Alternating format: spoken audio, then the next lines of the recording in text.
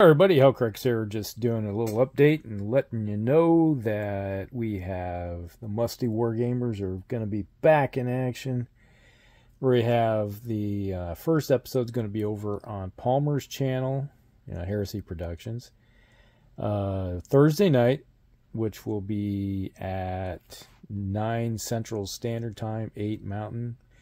Or if you're not sure what that is, that is Chicago time. So 9 p.m. Chicago time.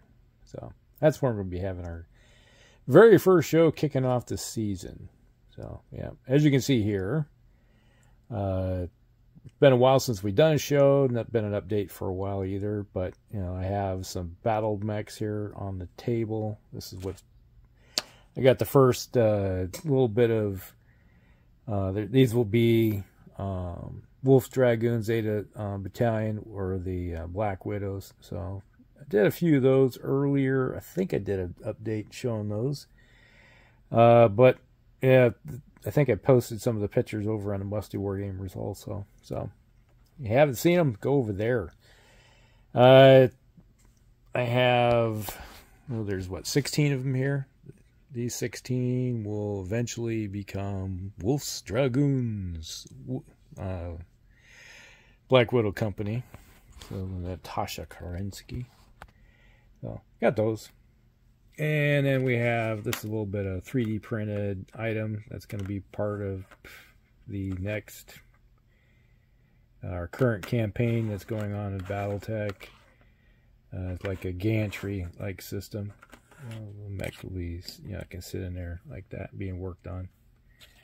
So we got that happening, and I got this little hyper pulse generator. Uh, what do they call it? Uh, dish. Just put a, my first layer of gray on it, so I got to put another one on it, and then uh, put a wash, and it'll bring that up. And over here, if you watched the last battle report, you've seen this in the, the battle report. It's a hastily done uh, paint job when it comes to this dropship. This is a map scale uh, Union class dropship. And it doesn't scale very well to the um, actual mech. So if it was mech scale, this thing would be huge. I think that last one I seen was on Etsy and like $400 to get one. And it's pretty big. So they're not going to be one of those anytime soon. But it makes an interesting little uh, piece on the table. So there. My wife, when she said, that's a weird looking Death Star. And my son goes looking like, hey, it's a thermal detonator. like, or a practice uh, little drone thing that for Jedi's use. like, maybe. I don't know. Looks very similar. So, got that uh, going on. And then you can see here, been working slowly on these um, Votann uh, Warriors for uh, Warhammer uh, 40k. These are the squats. As you can see, there's some, basically, I got all the, um, what do you call it, the armor done. And now I'm just going in and slowly adding all the different colors, base colors to them. So I got their pants and tunics put on, and now it's on to uh, you. Well, the had to put some silver on the uniforms, and I have to do the helmets. You know, get their visors, and then their web, uh, their belt and stuff, which are brown, and their gloves.